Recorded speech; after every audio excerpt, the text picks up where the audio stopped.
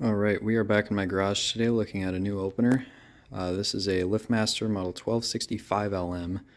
Uh, this is an opener I've been looking for for a little bit. Uh, you can see this one has the older style case. This was made um, April of 1999. So uh, these are not the original light covers. These light lenses are from the 7220.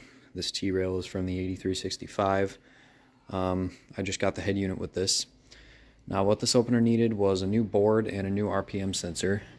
This is the original board and first of all you can see actually one of the uh, this is one of the relays and this little cover fell off of it. When I took the end panel off something was like rattling inside of it. I was like what the hell is that? Turns out this came off the relay. Don't know how that happened. But uh, this is kind of, you can kind of see what happened here how this little copper stuff here, I don't know if it was like a power surge or if, because I think this is like, this green stuff is like a coating that goes over the copper, and I don't know if that somehow corroded away or something, and now there's no connection here. That happened in a few spots, you can see right there. You kind of see that little copper tone on some of these spots up here. So I don't really know what what really happened, but this just would not get any power. And then this is the original RPM sensor board. You can kind of see how the back of that looks. So, yeah. Um, I mean, other than that, it's just a LiftMaster.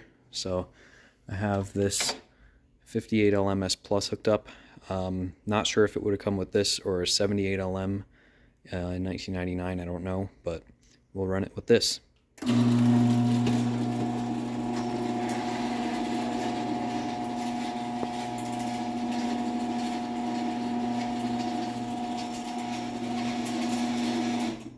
It's not too loud.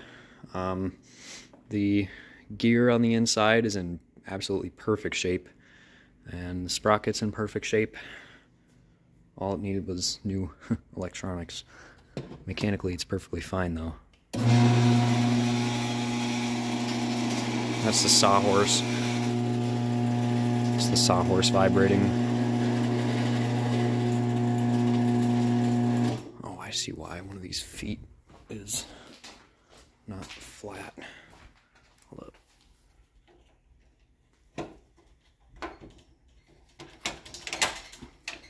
There. Maybe that'll make it a little quieter.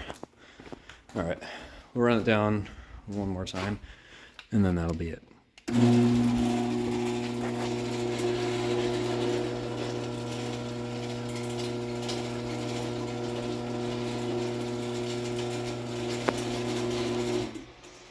So there you go. It's a nice classic LiftMaster machine.